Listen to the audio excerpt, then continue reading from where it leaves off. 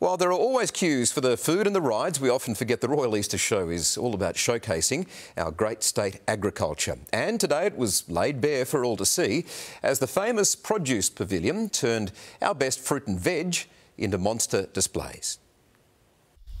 For more than 85 years. This family has been growing corn here in Gloucester, 265 kilometres northeast of Sydney. To be doing something that my grandfather did, it it means a lot to me. This crop has to be planted exactly 120 days before the Easter show. The best stalks then cut, wrapped, and taken to Sydney. That's the best one.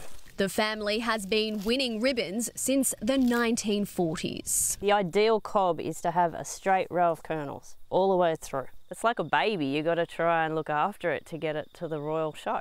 It's always a delicate dance with the weather as these stalks reach for the sky so that when harvest time comes, this maize isn't just considered a crop, but a symbol of resilience. That corn today front and centre at the show, forming part of the Central District's display, with farmers from across the state carting their best fruit and veg for a battle of the districts. Pretty much a life story of young people in ag taking up an agricultural career. It takes a village to build these impressive exhibits, including 90 year old Doug Crowell, named this year's show legend. What brings you back every year? The people, the uh, competition. But outshining all others was the harvest from the Northern District. I have the very important task of taste testing some of the best produce in the state. Where are we going to start? We're going to start right here at the dragon fruit.